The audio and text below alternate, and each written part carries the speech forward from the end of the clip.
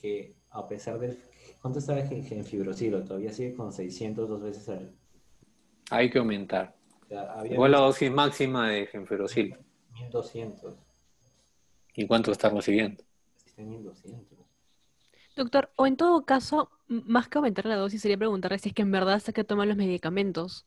Sí, sí está tomando. Pero está bien, ¿no? Es correcto, porque a veces algunos te mienten, ¿no? Descaradamente. ¿no? Tú le preguntas y, te dicen que sí, pero vuelves a darle preguntar y aceptan, ¿no? Pero no, este paciente sí estaba tomando los fármacos. Le doblamos la torba, de repente bajan esos triglicéridos. sin mm, necesidad, porque ya está en dosis tope. Claro, acá, acá mantuvieron y como había bajado, lo hicieron igual, ¿no? En 59. Podrías intentar subir y ahora sí la dosis. Sí, podría ser, hacer lo mismo, ¿no? Que dijeron acá, ¿no? Subir la dosis. En verdad, o sea, si no baja de peso, no, Ajá. no nada lo que están haciendo. No, por gusto estamos sí. viéndolo un año, ¿no? Porque ha pasado un año, ¿no? Literalmente. Y acá confirmamos, ¿no? Acá sí creo que lo vi yo, ¿no? Y yo saqué el dato que efectivamente no hacían ninguna dieta y no hacían ningún ejercicio, ¿no? Asumiendo que los demás médicos en todos los restos del tiempo le decían, ¿no? Que tenía que hacer dieta, tenía que bajar de peso. Entonces, nuevamente, copiamos lo mismo, copy-paste. Pero... un poco repetitivo. Bajar Pero yo, yo, veo esa TGP y digo, no sé, fácil hay que darle un hepatoprotector, ¿no?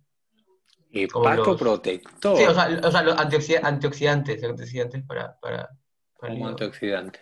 Vitamina, vitamina E. Yo he visto que le dejan a los pacientes con NASH, le dejan vitamina E.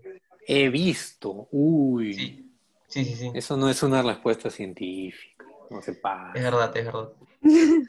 Pero sé que es un antioxidante que, que ayuda a... ¿Cuál debe ser una respuesta científica?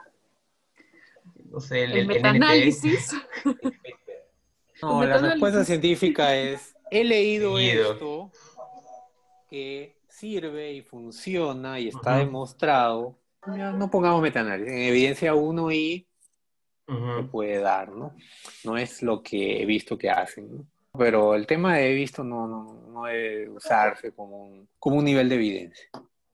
Ya, entonces seguimos insistiendo en subir la torba y bajar de peso. ¿Y se podría hacer una ecografía, un, un fibroscan? Eso serviría para... Para hablar cómo es la... Si es que ya evolucionó... qué? Ah, si ya no hay nada que hacer, si ya tiene cirrosis. No, si es, que, si es que solo NASH, o si es que ya hay, hay daño que indique fibrosis. Claro, pero independientemente el fibroscan te salga en uno que no creo, o te salen cuatro que mm, podría ser, he visto casos también, ¿no? De yo me esperaba simplemente un NASH y al final era ya cuatro. ¿no? ¿Qué debe hacerse? Si es que ya el paciente es cirrótico, ¿en qué cambiaría su manejo de lo que yo le estoy dando? ¿En qué cambiaría? Ojo, la ventaja del fibroscan es que te detecta antes de, ¿no? Porque si tú le haces una ecografía, no fibroscan, y ya tienes hipertensión portal, y obviamente un hígado de NASH, ¿no? Un poco grande, hipericogénico, pero ya hay dilatación de vena porta. ¿Cuál es el diagnóstico más probable? Ya, cirrosis. Cirrosis, ¿no? Pero aún así, este en ah. ese caso, igual tienes que recomendar lo que debió haberse hecho, quizás no hace un año, ¿no? Sino, este paciente llegaba así hace un año, pero mm. ya tenía hipertensión y dislipidemia, siete años, probablemente ya mm. tiene unos 10 años de obesidad o más, ¿no? para llegar a este estadio. ¿no? Aún así está en cirrosis y van a ver y vamos a responder efectivamente, bueno, yo no, ¿no? O sea, la evidencia va a responder la pregunta de Paula y justo es lo que, lo que continuaba, ¿no?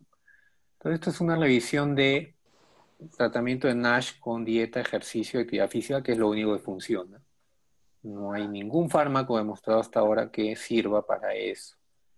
Y miren, esto es la intervención a un año, no es a un mes es a un año en que yo haga una disminución progresiva de peso. Si es 5%, miren la resolución del NASH, de la fibrosis, regresión de la fibrosis o de la cirrosis, mejoría la esteatosis. Pero si yo pongo como meta bajar 7%, mejora aún más tanto la resolución del NASH. Bueno, acá un poco menos, pero ya acá sube el tema de la fibrosis. Si yo sigo bajando de peso, o sea, sí se puede revertir. Sí se puede revertir y mejorar. Probablemente es el menor número de pacientes. Pocos van a lograr, o menos van a lograr 7% de reducción. Mucho menos van a lograr 10% de reducción. Pero si logras 10% de reducción, tienes mejores resultados, incluyendo una mejoría de la esteatosis al 100%. E inclusive reducción de la fibrosis, que es cirrosis, ¿no? Este, un 80%. Y esto es medido con biopsias, ¿no? Pero nuevamente es lograr esta baja de peso en un año. No es en un mes y luego, no hacer, y luego volver a subir, no 5%, sino 15%. ¿Qué, ¿Qué significaría en este paciente bajar 5% de peso? cantidad de peso es 5%. O sea, para ver si eso es lograble, ¿no? Son 6 kilos, 6 kilos. 5 por 0.05 es 4.3 kilos. No es nada. O sea, 4 kilos. Si el paciente en un año, que es el año que se ha visto este paciente en el, en el programa, hubiera bajado, obviamente en global, ¿no? No es que bajé 2 kilos y volví a subir hubiera bajado en global 4 kilos, ya hubiera regresionado esto. Acá solamente estamos enfatizando esta discusión ahorita, solamente es para el NASH, con todo lo que ya se habló, ¿no? El tema del fibroscan, el tema de la fibrosis, el tema de la cirrosis. Entonces sí se logra mejoría, solamente bajando 4 kilos en promedio, ¿no? 4 kilos, y acá sería el doble, ¿no? Si bajo 8 kilos, más aún todavía, ¿no? Y 8 kilos es bajar de 85 a 77, ¿no? Es algo abundante, ¿no? Y entonces ahora vamos a hacer el enlace, ¿no? El tema de la obesidad tiene que ver no solamente con la esteatosis hepática, sino también efectivamente con la insulinoresistencia y con la diabetes. Esto desencadena es, todo esto tema de la estrés oxidativo, muerte celular, inflamación y desarrollo del tema de la cirrosis, ¿no? Pero también está unido o asociado al tema de diabetes. ¿Y cómo logro bajar de peso. Esta es la misma revisión y acá ya es basado en clinical trials, pero es cierto, ¿no? No hay mucha inversión en el tema de esto de no fármacos y solamente hay estudios observacionales. Entonces, lo que está recomendado es una dieta hipocalórica o isocalórica. ¿Qué significa eso? Que tenga un déficit de energía de 500 a 700 calorías por día nuevamente durante un año, no es nuevamente un mes. ¿Y cómo logro eso? Lo clásico, pues, ¿no? Baja grasa, bajo carbohidrato. Y fibras, pescados, si voy a elegir una proteína debe ser pescado, vegetales, bajo azúcar de nuevo y bajo colesterol. Obviamente no alcohol también. Para evitar nuevamente eso. Yo cuando le explicaba a los pacientes obesos, les decía el tema del NASH y de la cirrosis y nadie sabía sobre eso. Nadie. Entonces es algo que también debe decirse, no solamente es el infarto, no solamente es el stroke, es esto también. Ahora la mayoría de pacientes que vienen con cirrosis al hospital son mujeres que nunca han tomado alcohol y hepatitis B negativo, ¿no? Ahora más todavía por el hecho de la vacunación masiva que hubo hace más de 10 años o 15 años. Entonces ya no hay casi hepatitis B, ¿no? Este, en la ciudad me refiero, ¿no? Quizá en provincia, en todavía zona endémica, puede haber, pero ya muy raro, ¿no? No vemos, ¿no? Entonces, ¿qué te queda? Pacientes obesas, obesas que ya obviamente llegan cirróticas ya consumidas, ¿no? Pero tú les preguntas cuándo fue su peso máximo y fue 80-90 justo. Y, ajá, ¿y con qué tiene que ver este tema? El tema de la diabetes. Esta es una curva para que vean solo un día, ¿no? De una persona. ¿Qué ocurre? Esto es glucosa y esto es insulina, lo azul, ¿no? Obviamente, si yo estoy en ayunas, me despierto y como, la glucosa sube y la insulina sube para bajar la glucosa. Y esto ocurre en un par de horas y luego vuelve a subir cuando ya la insulina baja. Y acá vuelve a comer la persona. Es el tema de las cinco comidas, ¿no? Pero no va a bajar a un valor, no va a bajar un valor preayuno, va a bajar un valor mayor. Entonces, ¿cómo? Acá sube la insulina de nuevo, pero ya no lo, no, lo, no el pico, es una comida menor. Entonces la glucosa va a bajar menos. Y acá vuelvo a comer el almuerzo, ¿no? Esa comida que debe ser mayor, ¿no? Y la insulina vuelve a subir. Pero si yo, si ven acá la curva, baja acá de nuevo, a más alta. Y si como en la tarde el lonchecito que dice Cristian, peor todavía, sube acá y va a bajar menos y sigo subiendo el basal. Sigo subiendo el basal, ¿no? Entonces, si esto lo repetimos cada día, ¿qué va a pasar? Aumentamos nuestro basal. Por lo tanto, ¿qué va a pasar? Resistencia a la insulina. Va a necesitar el organismo secretar, no este pico de insulina en la mañana, sino secretar un pico mayor. Y ahí es donde ocurre efectivamente el tema de la resistencia a la insulina. Y miren, esto es como una comida normal, pero si la comida es exceso en azúcar, el pico es mayor. El pico es mayor. Entonces, este es un día, si tú esto lo vemos en años, por eso es que se genera el tema de la, de la diabetes. Bueno, obviamente es un proceso, ¿no? un paso, ¿no? resistencia hiperinsulinismo primero, porque primero es hiperinsulinismo, pero llega un momento en que ese hiperinsulinismo ya no funciona, ahí se genera resistencia a la insulina, diabetes y diabetes. ¿no? Un proceso de 10 a 15 años, dependiendo de la carga de comida que ingiere cada persona. Pero ¿qué pasaría si yo no ingiero esto? Hay uno. Ah. Yo no ingiero esto. ¿Qué pasaría? Tendría un basal más bajo. Bajaría más, ¿no? Y la insulina bajaría más. Entonces, cuando yo coma acá, voy a volver acá, ¿no? Entonces voy a, uno, subir menos picos, voy a subir menos el pico, y el pico de insulina también va a ser menor. Pero ¿qué ocurre acá justo? En el día a día de uno. ¿Qué ocurre? Cuando baja esta glucosa, ¿qué sientes? Hambre. Hambre, ¿no? Hambre. Entonces todos sucumben a esa hambre, entre comillas. Pero hambre en realidad la tienen, yo diría, la gente que no ha comido, pues realmente un día entero, la gente en África que no come días, ¿no? Pero una persona obesa con un IMC en 30, ¿eso se podría llamar hambre en realidad? Ajá, muy bien, ¿no? Si uno, digamos, ¿no? ¿Qué genera esa hambre? qué genera o qué siente cuando uno siente hambre, entre comillas, por, ese, por esta disminución que ven de, la glucosa. ¿Qué genera, aparte del hambre? libera glucagón. Ah, no, no, no, un tema de síntomas, un tema de acciones, actitudes, ah, sensaciones. Te tornas irritable, ansiosa. Somnoliento. Somnoliento, ¿no? Síntomas que uno podría decir de hipoglicemia, ¿no? Pero en realidad no tienes hipoglicemia, ¿no? Porque ahí efectivamente, ¿no? Como dice Paula, generas hormonas contrarreguladoras. Baja la insulina, baja, baja la insulina, como ven acá, ¿no? Baja. Si es que yo realmente no como nada, baja y sube las contrarreguladoras y la glucosa vuelve a subir. Pero, ¿qué va a pasar si yo esta curva la tengo alta? Este pico va a bajar más y yo voy a sentir más ansiedad. Y no va a parar hasta qué? Esa ansiedad, esa irritabilidad, esa... A veces hasta taquicardia. Hasta, que coma, ¿no? Hasta saciar, ¿no? Hasta volver a ingerir azúcar, ¿no?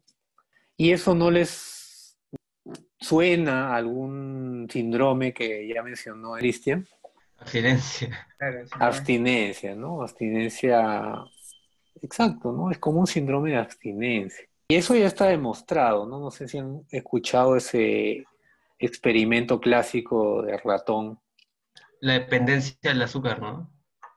De los ratones, ¿no? Que estaban tratando de estudiar la adicción a la cocaína y ¿qué hicieron? Usaron como placebo, usaron agua con azúcar. Pero sorprendentemente para los científicos que creen que pasó, si es que no conocen el experimento. Era más adictiva la, la, el agua de azúcar. O sea, lo que los, lo que los científicos que hicieron ese experimento es, esperaban es que era que los ratones se fueran más al, al lado de la cocaína, ¿no? Pero se fueron más al lado del azúcar. Entonces ahí, en un experimento pequeño, podrías tú asumir que el, azúcar es más adictiva que la cocaína, ¿no? Y lo cual es cierto, ¿no? Es cierto que la mayoría ingiere azúcar y no para hasta cuando pasan ese síndrome de abstinencia, ¿no? Este síndrome de que baja, ¿no? Aunque también tiene su tema fisiológico, ¿no? Porque si yo tengo un hiperinsulinismo, o ya generé un hiperinsulinismo, mi caída de glucosa va a ser más baja, ¿no? Va a ser más, este pico, esta curva va a ser más, más pronunciada. Entonces voy a sentir más los síntomas de hipolicemia probablemente. Pero eso produce daño, ¿no? Si yo no le doy tiempo a mi organismo a que genere contrarreguladoras, subo la, insulina y eso trae problemas a futuro. Y ya está demostrado, no sé si en estudios nivel 1, que ese síndrome o periodo de abstinencia o síndrome de abstinencia al azúcar dura entre una a dos semanas. ¿En qué? En que este pico de insulina que uno generó también baje. Va a bajar. ¿no? ¿Por qué baja? Porque las contrarregulares vuelven, vuelven a, a funcionar, ¿no? Porque eh, estos pacientes o estas personas no dejan a sus contrarreguladoras funcionar, ¿no? no las dejan. O sea, de una vez la, esa caída de glucosa, vale, voy a azúcar nada más. Y lo único que logro es simplemente lograr más picos de insulina. Contrariamente a lo que recomiendan los nutricionistas, porque acá es muy claro, ¿no? Para yo bajar de peso, y es por lógica también, ¿no? menos cantidad. Pero si yo le digo que coma cinco veces al día, no lo va a hacer. O sea, hablo de la cantidad. Si yo quiero que, por ejemplo, ¿no? cuánto, una, ustedes, ¿no? ¿Cuánto de calorías requieren por día? 2.000, 2.500. A que, son atletas de... Yo tenía que ir a 2.000, o sea, toda la vida he visto que las dietas de toda la vida. 2000. Otra respuesta. No, es como. Pero doctor, en, todos lados está. Ah, su, en todos lados está. Así he visto. Lo que he leído, así he escuchado donde he leído en es todos dieta basada en 2000, sí. Ah, ah, tú estás hablando de las etiquetas de todo lo que comes. Ya, ya, esa es otra cosa. No, no, no, a ver, eso no es científico, pues, ¿no? Eso es este, algo que se copia y pega desde los 80, pues, ¿no? Y, y el tema, y, y, aún así, ¿no? Desde el Harrison, creo que la edición que yo estudié, este, hay fórmulas para calcular requerimiento nutricional, ¿no? ¿Y eso de qué depende? No es 2000 para todo, ¿no? ¿De qué depende el requerimiento nutricional? De la tasa metabólica. metabólica. Tasa metabólica basal con la actividad física. Y tu tamaño y, peso. Claro, con el peso y tamaño y corregido con la actividad física que dice María Pi. ¿Y qué actividad física tiene la mayoría de gente en la época prepandemia? Su actividad física principal es movilizarse, ¿no? Cuando se moviliza. Mínima. Mínima, ¿no? Y en la época pandemia, peor todavía. Nula. Claro, porque ojo, ¿no? Cuando uno está en sedentarismo, el metabolismo baja más todavía. Baja más. Hablando de metabolismo basal. Entonces requiere menos calorías y ahí va el comentario que hizo Paula al inicio, ¿no? Que algo que escuché, ¿no? Que en vez de la gente comer menos, ahora come más, ¿no? Y no solo come más, sino engorda más por este tema, pues, ¿no? Del metabolismo. Entonces, ya, pongamos esas 2000. Ya, pongámosle 2000. Pero calculen, hay fórmulas para eso, no, no nos vamos a demorar mucho ahí, pero pongamos 2000. Entonces, para que baje peso, según esto, tiene que ingerir 700 calorías menos. O sea, ¿cuántas calorías debería ingerir por día esa persona? 1300. 1300 calorías. Por un año. Ojo, por un año. Y si yo lo divido en 5, ¿cuánto quedaría? Cada comida. 250. Ya, 250. 260. Ya, 260. 260 de volumen, de cantidad. Es un vaso, ¿no? ¿Quién se llena con un vaso? Nadie. Entonces, ¿qué va a pasar? va a dejar la dieta. Va a comer más de nuevo, ¿no? Ahora, si yo lo divido en tres, ¿cuánto sería? Que serían las clásicas tres comidas. ¿Cuánto sería? 1300 entre 3, 400, ¿no? un poco más, como que se va a llenar un poco más. Y hablando de volumen uno a uno, ¿no? Entonces vamos ahora a ver las calorías. Pues. Hablábamos de 400 calorías, ¿no? Para que una persona baje de peso por comida tres veces al día. ¿Cuánto tiene un pan solamente? 250 calorías. Entonces me quedarían 150 para comer. Pero si yo quiero comer arroz, tengo 350 por 100 gramos. Y ojo, acá 100 gramos nada más. Me quedarían 50, ya 100 calorías para comer. Entonces, ¿qué ingiero? una proteína me faltaría, ¿no? ¿Dónde está la proteína? A ver, pescado, pollo, 150. Ahí está.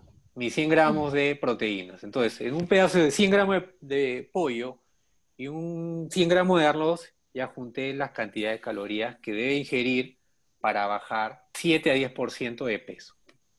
¿Eso alguien lo dice? No. La mayoría dice lo que ha dicho Renzo, eso es, eso es clásico. Debo ingerir 2.000 calorías. Y ahí lo calculé, calculé mis calorías. ¿Cómo? Calculé mis calorías. Ya, ¿cuánto requieres? Dice que para para una dieta normal, o sea, para seguir con mi dieta es 2400 y para bajar de peso me recomiendan una dieta de 2100. No, no, no. Para, para, perder, con para tu, perder quédate con tu basal. Un kilo por semana. Para bajar de peso tienes que tener una restricción y eso lo vamos a ver más adelante. Entonces debes calcular tú tu requerimiento basal. Pero ese, ojo, ese requerimiento basal es el que te ha llevado a tener el peso que tienes ahorita. No es tu requerimiento basal para tener, ¿no? Porque debe ser un peso magro, ojo, ¿no? Tiene que ser un peso magro de acuerdo a tu talla.